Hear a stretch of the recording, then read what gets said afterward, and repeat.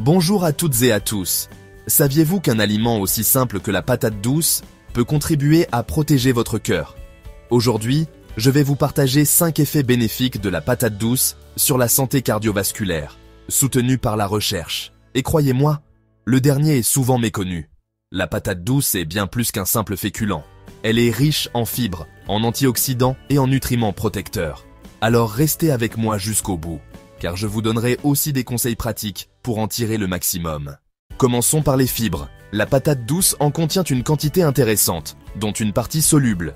Ces fibres peuvent réduire l'absorption du cholestérol dans l'intestin et donc aider à faire baisser le fameux LDL, le mauvais cholestérol responsable de dépôts dans les artères. Pour vous donner une idée, 100 g de patate douce cuite apportent environ 2 à 3 g de fibres. Ce n'est pas énorme, mais intégrer régulièrement à une alimentation équilibrée, c'est déjà un vrai soutien pour le cœur.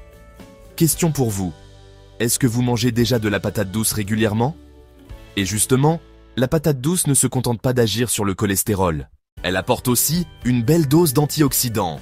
Les variétés oranges sont riches en bêta-carotène et les violettes en anthocyanine. Ces composés neutralisent les radicaux libres, responsables du stress oxydatif. Un stress qui, à long terme, use nos cellules et accélère le vieillissement des artères. En clair, chaque bouchée colorée de patate douce agit comme un petit bouclier invisible pour vos vaisseaux sanguins. Et ce n'est pas tout, car son intérêt va aussi bien au-delà de l'oxydation. Beaucoup de gens pensent que la patate douce fait grimper la glycémie parce qu'elle est naturellement sucrée. Mais c'est faux. En réalité, son index glycémique est souvent modéré, surtout si vous la cuisez au four ou à la vapeur.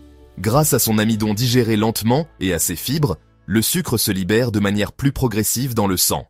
Et pourquoi est-ce important pour le cœur?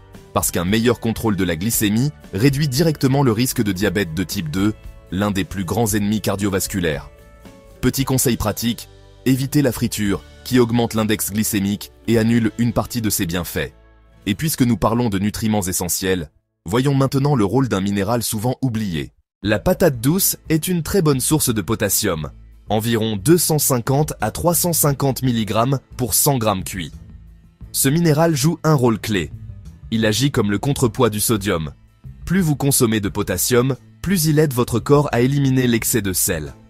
Résultat, une pression artérielle plus stable et un risque réduit d'hypertension, d'AVC et d'infarctus. Mais la patate douce ne s'arrête pas là.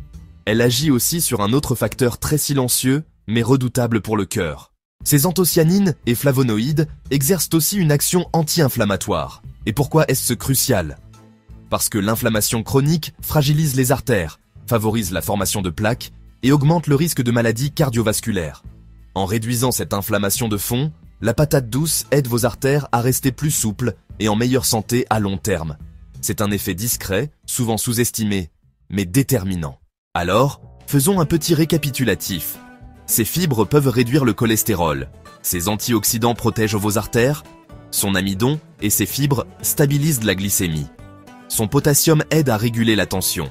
Et ses composés anti-inflammatoires entretiennent la souplesse des vaisseaux.